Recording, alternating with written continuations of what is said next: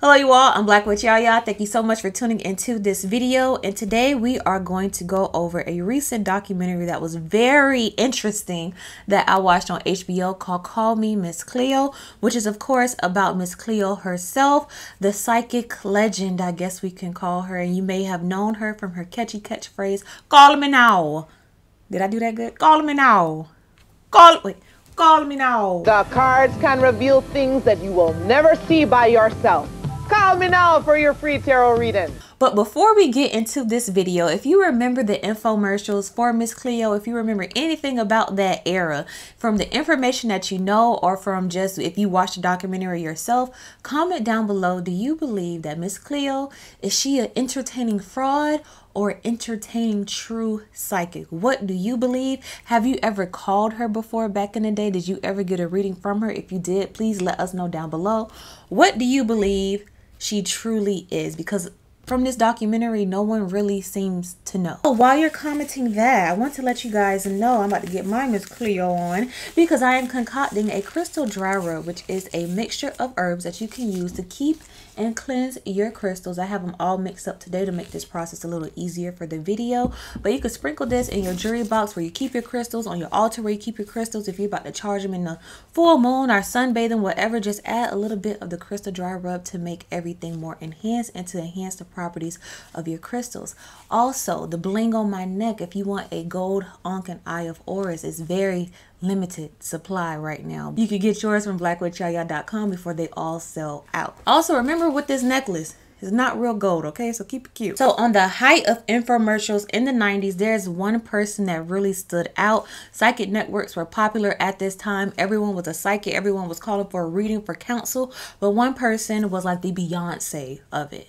Miss Cleo. When you think of psychic networks, you think of Miss Cleo. Miss Cleo referred to herself as, I'm going to say referred to herself as because as you know throughout the documentary, they didn't really know who she was. So I'm going to say she referred to herself as a voodoo priest and she was known by her friends to be very disciplined in her practice through meditation, through taking care of her altar, communicating with her spirits because those were the one that guide her through her practice. So in her earlier life, Miss Cleo, also known as Youree Harris. She was a performer, darling. She was into theater. She attended the Langston Hughes Performing Arts School, and they also had people there who attended the school with her that had information on her as well. This was in Seattle, the Langston Hughes Performing Arts School. We don't really know where she's from at this point. There, she was known to perform and produce plays as well. She was known to be very nice and very eccentric. But along with her good acting skills, she was known to act on and off the stage. A lot of people said in mid conversation she would like change her voice and she could come up with these different characters.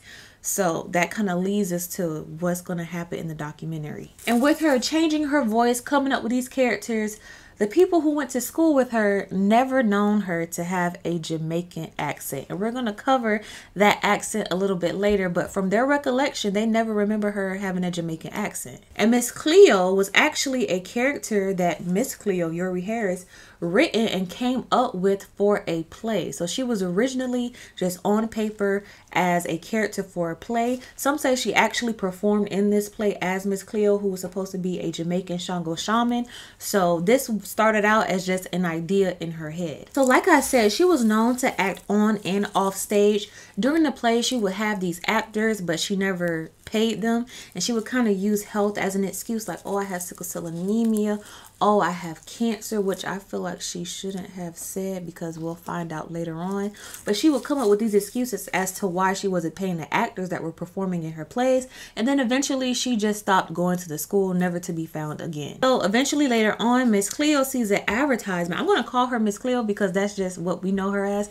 But she sees an advertisement for the Psychic Readers Network who needed a reader. So at first she was working behind the camera with the person who was in the current position, a white woman who was reading cards. And then she kind of said, you know what, this isn't making sense. She's just talking crazy. It sounds like she's acting. She's reading the cards wrong. This is not how it's supposed to go. So someone in the higher ups told her, we're like, can you lay out the cards for her to maybe make it easier? Can you like, you know, just kind of tell her what the cards mean. So when she does it, it sounds a little bit smoother. Try that out. It still didn't work. So Miss Cleo herself gave it a try. She said, listen, I don't know if I want to to do this. This is a business at the end of the day. I do this for real. I'm going to sit down, read these cards. Y'all tell me what y'all think, but do not tell me how and what to read. I'm going to do it my way.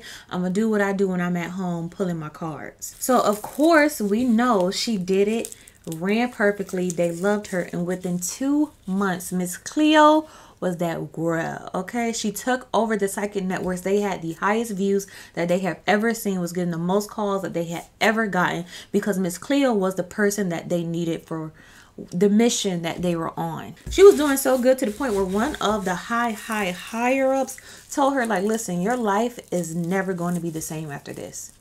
And it wasn't. Now, in this documentary, they did their research. They had people who worked for the Psychic Network. So, like for myself, I don't really remember the Miss Cleo advertisements. I remember seeing her. I'm familiar with the name, but I have a very vague memory of it because I believe it came out in 97 to 2002. I was a baby, okay?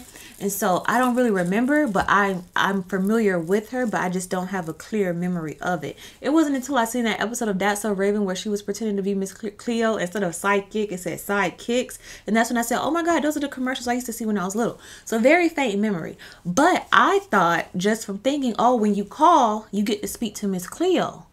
that wasn't the case. When you called, you were speaking to basically these telemarketers, these phone customer service representatives. Some, very few, were actually experienced, but most of them had no idea what in the world that was. They were reading off of a script. They did no background, no interviews. Like no one even said, "Hey, read me real quick so I can know you legit." They were just random people who needed to answer the phone, keep the people on the phone for at least 18 minutes, and the goal of the call was to collect their information at the end. So basically, they just could have a catalog of a bunch of people to send advertisements to, and the cost was $4.99 per minute. And the goal was to keep them on the phone for 18 15 minutes and when they called most of them was placed on hold. Now the part that surprised me the most was that these people were reading from a script. So immediately i'm like do these people on the phone not know that they're not psychic and they're just giving them generic information? Like for example and i tell y'all to watch out for readers like this if you ever side note off the documentary if you ever go get a reading and the person is just reading the cards and that's it that's not a good reading. If they just pull, you have the Three of Swords, that means there's someone trying to block your blessings and your goals. Everybody can think of somebody right now that's trying to block their goals. Everybody in this life, everybody has an op whether you know it or not there's always someone who don't want you to reach your goals. That's so generic. But if they're like you have the three of swords someone in your family is stopping you from reaching your goals. I feel like it's on your father's side of the family someone that you grew up close with but then something happened and you got separated you went to school with if it's more specific and you could really get a, vi- a visualization of what they're talking about that's a reading. They should be able to communicate with their spirits to tap into your energy your spirit guys. Their spirits and to talk to your spirits and come up with information that's directed towards you. Anybody could read cards. Any anybody could pull a card and look at the little book that it come with and read the definition, but do they truly know how to apply it to you and go into detail what the cards are talking about? That's one. And if they ask your zodiac sign, newsflash, sorry, hate to break it to you, they're reading your zodiac sign, not you. So if you're a Gemini, trust me, that reading probably applies to me too. Also, with that beautiful rant, I also wanted to mention I do not offer readings. So if you get a DM from a person pretending to be me, it is not me. I do not accept any money that's outside of my website, and I myself do not offer readings. I only refer to the Baron for readings, and that's why his page is linked to my website. So if you ever got a reading from quote unquote me, call your bank because that was a fraud. I do not DM people first. I do not offer readings. I don't do none of the things of the things, okay? So don't fall for the okey doke.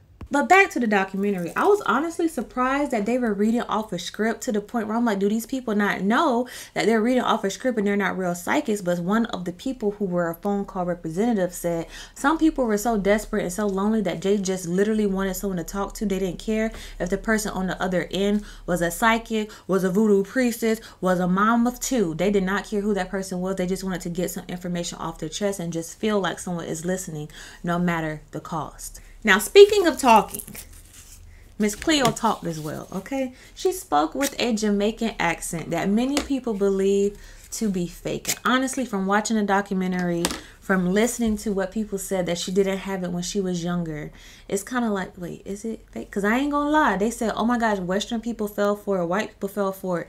But I'm like, I too fell for it. I did not know that accent was fake. I know like Jamaican accents. To me, some people have more like inflations with their words in different ways, but to me, I thought it was a real accent. But granted, I'm a fan of accents in general, so you could throw any accent at me, and I'm like, wow, oh my gosh, amazing. You're really showing your culture. So one young lady on a documentary by the name of Andrea, she is an author and a scholar for the Caribbean, honey. And she said that her and her friends knew that she was speaking with a fake accent. Like it was a joke in Jamaica, like, oh my God, look at this girl speaking with this accent. Everybody followed for it. Like even they're like, we know that's fake. But I'm like, maybe because they got an ear for it, they were able to spot it more. But I did not know that accent was fake. I thought when people mocked her, of course that's fake, but I thought she was real true.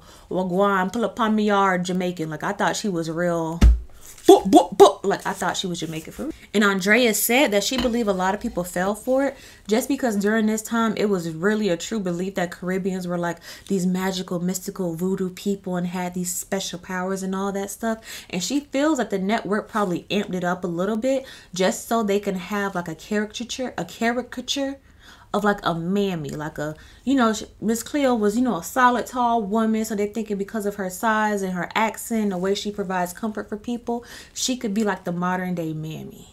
Like she'll make white people feel comfortable. She make people feel safe. Let's bring that aspect of the mammy character to Miss Cleo to really amp it up some. So they told her, yeah, speak patois. Jamaican it up. Put on a show. So I'm sure she turned it up a couple notches as well just to please the production. And I feel that's true because Miss Cleo said, even the producer stated for her not to share that she went to an all girls boarding school just so it wouldn't make her look, she assumed, too educated. And this is one connection I feel may be in my head. So let's pause right here. What I'm thinking is maybe because she went to an all girls boarding school around a lot of white people. Maybe she lost her identity. Maybe she wanted to tap into some blackness. So maybe she said, hey, you know, Jamaicans are cool. Let me be real black and be Jamaican. This is what I'm thinking that she's thinking because I don't know who taps into an identity, picks up the accent, and just takes on that entire culture that was a thought. Maybe she was trying to find herself because she didn't have, you know, anyone around her like that growing up. So I don't know. So this was going on for a long periodically amount of time, okay? So they were making their money. They made millions and millions and millions and $24 million off of a commercial that Miss Cleo did where she was on set for two days and only paid her $1,700. But we'll get into that because that was discovered in the lawsuit because Florida, of course, Florida always got something to do with something. Florida sued Miss Cleo. You may be wondering why in the world would they sue Miss Cleo? It's just readings on the screen. It says for entertainment purposes only. Like people should know better than to call. They called themselves, right? They're adults. But here's the thing not some of the people who called the network of course they got billed but some people in that mix that they were billing never even called the network but were being billed hundreds of dollars. And some people said listen my kid called. I didn't even know they were calling but still being billed so, of course, in the media, they're not going to say the state of Florida is suing the Psychic Readers Network. No, they're going to say the state of Florida is suing Miss Cleo because she was the face of the company. When you thought that network, you didn't think about anybody else except for Miss Cleo. So, of course, it sounds good to say, you know what, we're suing her. So, everybody's going to be like, oh my God, what happened? What happened? What happened? So, during this lawsuit, someone was able to dig up Miss Cleo's birth certificate. And it shows that she was not born in Jamaica. She was born in California to a wealthy family. You may be thinking, where in the world does this accent come from? Where in the world does this Miss Cleo character come from? But just a random fact in the documentary, Miss Cleo wasn't her only personality that she tapped into. There was also a guy named Max who popped up when she needed to rest. And then there was also this deep metaphorical character called Premier who spoke in poem and not direct and was very intellectual and grasped people as he spoke because no one could really understand what they were saying. But these are also personalities that her friends saw in her, in Miss Cleo and Youree. So getting back into the lawsuit, what was also discovered was Miss Cleo name was forged in the bill. So basically there will be a bill saying, hey, you owe $809 because you placed a call at this time, this time, this time. And at the end, it will say sincerely Cleo, but that wasn't Cleo's signature. So number one, forgery. And then going over the contract that Miss Cleo signed, they discovered she wasn't even really benefiting from the company. The company was making millions upon billions of dollars and Miss Cleo was being paid pennies, just a couple thousand every so often. All the material that was being sent out with her face and name on it, from tarot cards to board games, all the commercials that were shot, she was barely being paid anything. So I'm assuming that they assume like, okay, listen, we know she ain't doing no fraud because first of all, she would make sure that her check clear if she was really dipping and doing with the two owners of the company that was basically manipulating her and just using her, and because they owned the whole Miss Cleo character. So with all the press going on, Miss Cleo was dropped from the lawsuit just because she was the face of the company, not getting too involved in what was going on behind the scenes. But of course, the media is going to say Miss Cleo's a fraud. Miss Cleo's a fraud because it sounds more catchy and captivating and attention grabbing than the Psychic Readers Network. So even after she was dropped, that didn't get as much media's press, and she was pissed about that. She's like, "Listen, y'all was talking about me getting sued, getting sued, getting sued, but as soon as I get dropped from the lawsuit, why is that not getting that much coverage?" Because of course they want to sell dollars at the end of the day as well, and using her name was associated with money for everybody else except for her. So from this point on, with the Psychic Network being closed down, they came up with the settlement, had to pay back all of the charges they made and cancel all the bills that were owed. So they kind of just disappeared. So did Miss Cleo just a little bit. She had gigs here and there for car lots for cereal commercials. Her voice was used in video games, but it wasn't as big as it was when she was associated with the Psychic Readers Network. So she, in a sense, went into a shell. Her life did change as the higher up before said it would, but not in the best of ways. She had to get forced to be pulled out of her home by her friends to be like, look, come over for our barbecue every week. Let's do that. Through that, she found her godson, and with her godson, they were going to a lot of LGBTQ plus community events to speak out against bills that were being passed that was anti-LGBTQ plus. So she spoke out against that. Her godson eventually came out, so she came out as well. So she was then refining her voice in a community that supported her. So now Miss Cleo is in a relationship, and that ended up kind of fading because the former girlfriend was saying that it kind of felt that they eventually became roommates instead of mates. But she shared with her one night that she had a dream of an elderly woman in a chair in this foggy, cloudy type of environment. And she looked at Miss Cleo and said, Youree, what are you doing here? You're not supposed to be here yet. So in that moment, Miss Cleo knew that her time was coming to an end and surprisingly, she accepted it. You may be thinking like, okay, where is that coming from? While all of a sudden she's having that dream. So we know Miss Cleo, for what we know, is a psychic. So eventually, I guess that was her warning or her vision, what was going on in her life. And eventually, she was diagnosed with cancer. So she went to the Bahamas for like her final hurrah, her last big trip, but wasn't able to make it throughout the whole trip. She had to fly back home where later she passed away in a hospital in hospice. That's why earlier I was like, oh, I hope she, why she had to joke about cancer to those people that she weren't paying like, I don't know. So now in the documentary, there were a couple of her friends who actually gave their experience with Miss Cleo and one actually said at a get together, his friend was there. Miss Cleo told him, Hey, be careful with the left side of your body. You're going to start having trouble with the left side of your body. And eventually, he got into an accident, and the left side of his body was paralyzed. So that was just one of many examples of their friends being like, no, we believe Miss Cleo because some things that she told us, told people that we love, our family members that she should not have known, she knew and was able to share it with us. So that's what made me think like, dang, was she a true psychic just misplaced? And not being able to show her gifts fully and authentically where she had to kind of turn into a machine where people in the back was doing evil or was she a fraud from the beginning pretending she had a jamaican accent not really telling people where she's from? My thing is like where's her family? Where's her parents? Where's the people close knit who could really give the tea? Like listen i'm her sister and she was acting like this, this and that. There's not too much people that was like and i'm like where's the family so Miss Cleo was truly a mystery. That's the one thing I'm like, there was no one else that kind of really knew about her. She was able to keep her life a secret ever since she was a kid. Like what caused that? What happened to her? Was she tapping into these different personalities to avoid who she truly was and to want to like recreate her existence? Or was she truly or was she faking in the English accent the whole time? And she really did have a Jamaican accent. Or was did she feel connected to Jamaica, wanted to be accepted by, by her Jamaican family, or what was it? And to be honest, y'all, I never believed she was fake because I'm very careful as to what people call fake because I know sometimes everyone in spirituality can be called fake. Crystals don't work, candles don't work, incense don't work, this don't work, that don't work because they're biased to like their own religious beliefs, so they can only think within their religion to the point where they think everything else is the devil and fake. So I was always very careful as to who was calling her fake, who was calling her a fraud, because I'm like, okay, so what do you believe? Do you believe she's fake because you believe what she was doing was demonic, or you believe she's fake because you actually have some information behind your reasoning as to why you would call her a fraud? So I never really took that into account. Of course, there's like Miss Cleo jokes like, oh, you think you Miss Cleo, this isn't that. But I don't know if this documentary helped it. I just really want to know why the Jamaican accent. Like, where did that come from? So, even though this documentary was very detailed, went in depth with the eyewitnesses, people who worked for the company, I feel like at the end of the day, Miss Cleo is still a mystery. Like I wish there were a group of people like, hey, Miss Cleo read me, here's a recording, this and this happened. That would be so nice to have. Hmm. But you guys let me know what you think down below on Miss Cleo. Was she a true talent behind a faulty company or a faulty talent working with even faultier people?